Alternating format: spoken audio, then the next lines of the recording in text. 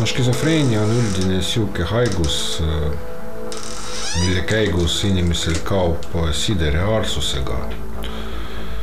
et ta saab valesti aru, mis talle räägitakse, ta näeb valesti, näeb asju, mida, mida, mida ei esine, eks ole, ja tihtipeale see haigus nagu segab inimest endalt, ennast ja siis segab ka teisi inimesi, sest inimene nagu käitub teistmoodi lausa, et, et mitte arusaadavalt, mitte loogiliselt ja ja räägib asju, mis on võib-olla kohatud ja ei ole õiged ka, eks ole, et selline jah, selline haigus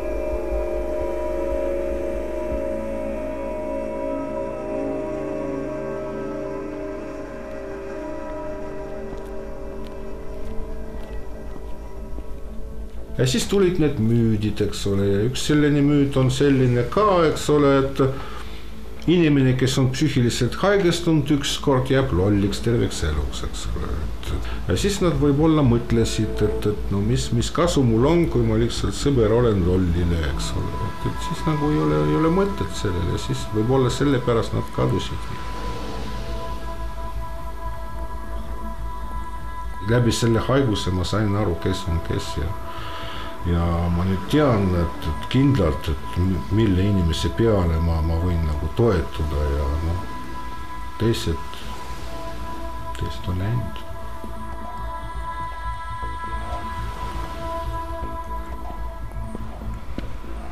kaheksas märts oli minu elus pöördepunkt, mind kutsuti peole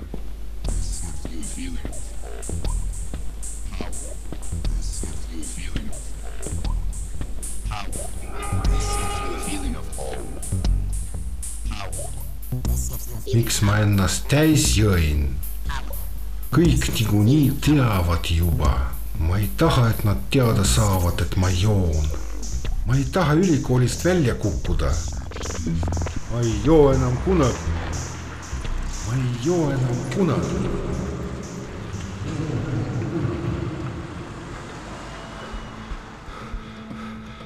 kiiremini, kiiremini, kiiremini, kiiremini, kiiremini, kiiremini, kiiremini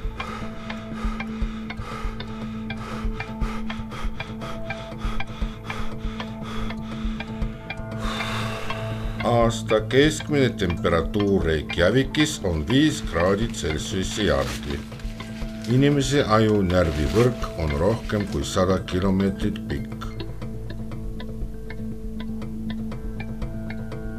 kõik on nii segane, aga lahendus on olemas. Mind Terminal Operation System. läbi selle ma saan mõtteid kontrollida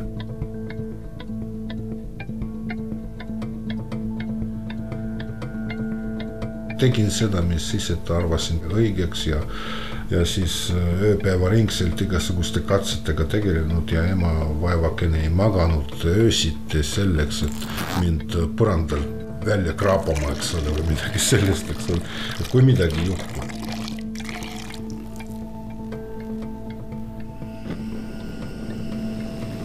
ootame, liin hakkab keema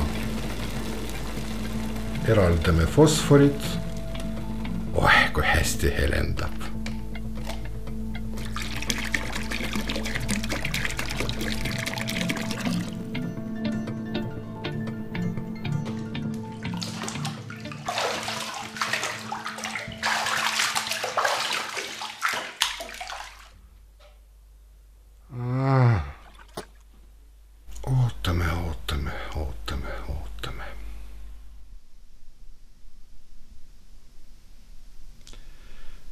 Siis, kui ma esimest korda sattusin haiglasse, ma ei saanud aru, miks tellituna